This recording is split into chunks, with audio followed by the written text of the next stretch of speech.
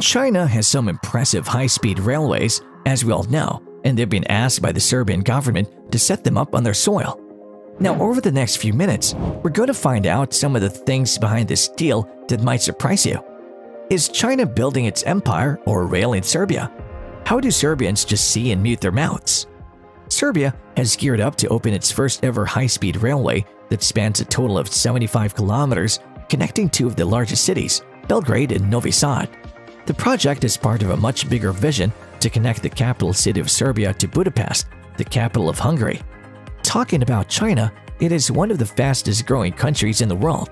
Talking about their manpower and construction, China is far ahead of many other countries. They have their equality in the sector. China's fastest rail is always a dream for other countries. The Chinese empire was not built in a day. They worked for years and years to achieve these milestones. They have already proved what they are capable of. China should prepare for more manpower because most of the other countries are waiting to deal with it for their huge projects. Before we move ahead, make sure to subscribe to our channel so that you never miss an update on China's growth. The entire route spans a total of 360 kilometers, out of which 184 kilometers is within Serbia and the rest 166 kilometers within Hungary. If you're someone from Serbia who's tuning into this for the first time, then it might sound to you like great news indeed. Finally, some faster travel. The route is expected to cut short the time significantly between the two cities from its current 8 hours to 3 hours. That's almost 5 hours less. Imagine saving 5 hours of your trip every day. That's 35 hours every week. Pretty significant, I know. This entire project is not merely a solution to reduce the travel time between the two cities, but the first step to making the country a modern transportation hub with Europe. The contract was signed back in 2018 with China Railway International and China Communications Construction Company for 943 million euros. Now, all of that sounds fair and good, but do you think China is just helping out Serbia as a friend who just needed some help, or is there something else? Chinese companies and the government have been notorious for their evil practices when it comes to setting up companies within international lands. Similar projects within Serbia had also come under a lot of scrutiny.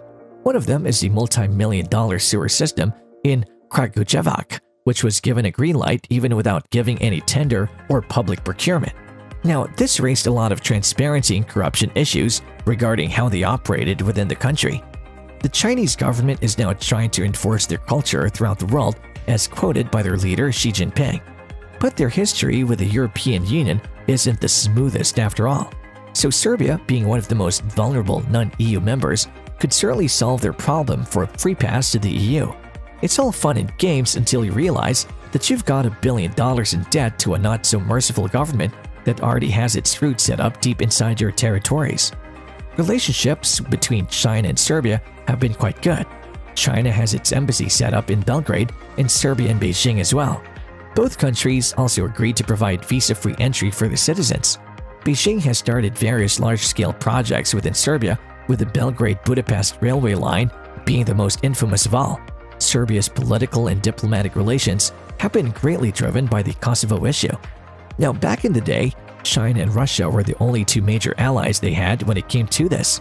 Russia is their only energy supplier, while the Americans were busy carrying out bombings in Yugoslavia they accidentally hit the Beijing embassy in Belgrade, killing three Chinese citizens, including two journalists. This pretty much confirmed Serbia's tilt towards the communist nation as a new savior from the West. Trades between Serbia and China have tripled to $1.6 billion between 2005 and 2016. The exports from China turned out to be $1 billion. Looking at all of this, there is a huge chance that Serbia might end up taking a lot of loans from China to fund their projects might end up not being able to pay them back. That's gonna be a really bad situation for their economy and their already not so good living conditions. We might just see a Sri Lanka sort of situation erupting within the Balkan country soon if the projects and the Chinese government's plans are not well thought out through. Wait, maybe we should stop demonizing the Chinese government too much. What if they mean real business? The growth of Serbia? I guess we'll have to wait and see. Comment down your thoughts below and like this video if you enjoyed it. To subscribe to our channel, see you again in the next video.